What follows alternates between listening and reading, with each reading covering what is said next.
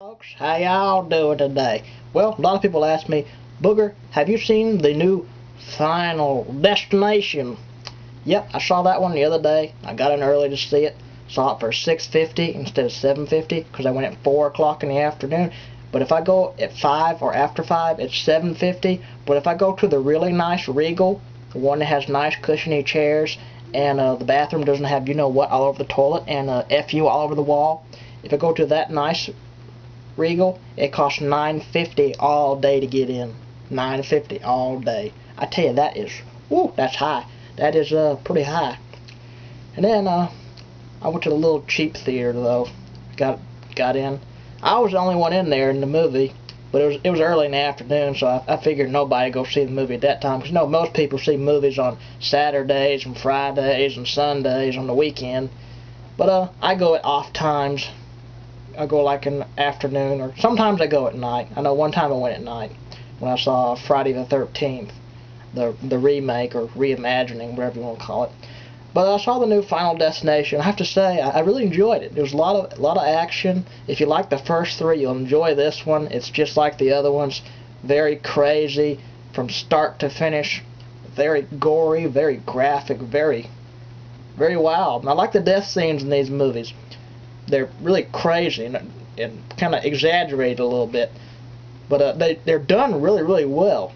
Like in the new uh, Final Destination, this one guy, he gets stuck in a swimming pool at the drain. His butt gets stuck on the drain, and it sucks his damn guts out and shoots him up everywhere. I tell you, that was wild. Never seen anything like that. And then there's a part where this uh, this one lady, she goes to a beauty salon. They got the fan like the fan on the ceiling. It's sitting there wobbling, about to bust, and it comes flying down. The kids run in and slide, and then the the kids threw these rocks at this guy.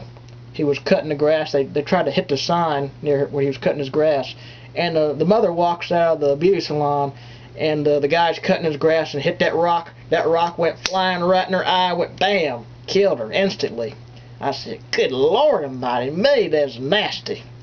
But whew, it's a pretty graphic movie. I tell you, not for the kids.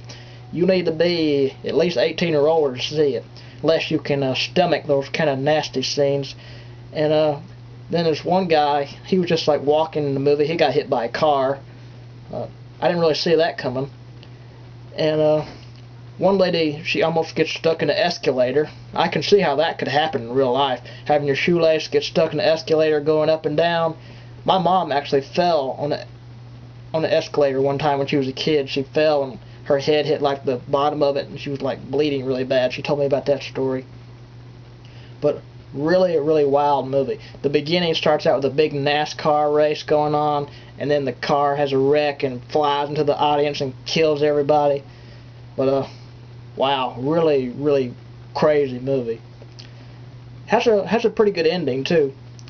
But uh I didn't see that ending coming either. I I don't want to spoil it, but uh, you'll enjoy the movie. If you like the first three, you'll definitely like this one because it is full of action. It is very gory. It is uh, just wild ride, really. Only thing about the movie, the actors and actresses in the movie, I've never heard of any of them before. I don't know any of them. I think they're I think they're new to this movie, but uh, they're they're pretty good in the movie. I know some people online said, oh, the acting in The Final Destination was horrible, but the effects were good and it was really gory and all that. But I didn't think the acting was that bad. I mean, it was all right. I mean, I've never heard of the people that played in The Final Destination. I've never seen them in any other movies. But uh, they were they were pretty good in the movie. I mean, they did a pretty good job. My favorite character was probably the uh, the black guy. I like him. Shame they damn. Well, I don't want to spoil it. But uh, I like the black guy. He was my favorite character in the movie. Other characters, they were alright, but uh, I like the black guy. He was cool. But uh, it's a really good movie. If you like the first three, definitely check it out. It's a very solid sequel. I give it a 9.5 out of 10. Definitely check it out. And uh, check out Halloween 2 if you like the other one. But Halloween 2 was kind of disappointing to me. I was kind of disappointed. I mean, I didn't hate it, but it was kind of disappointing. But uh, maybe the DVD will have more added to it. But uh, that's all I got to say. I'll see y'all later. Bye-bye. Oh, and I forgot to mention, if you like the movie Orphan, when it came out in July, it's coming out on DVD next month and Blu-ray. Well, uh, I'll see y'all later.